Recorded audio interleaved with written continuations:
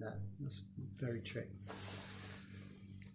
Right, Mark, the word that's on everyone's lips at the moment is coronavirus. I'll start again.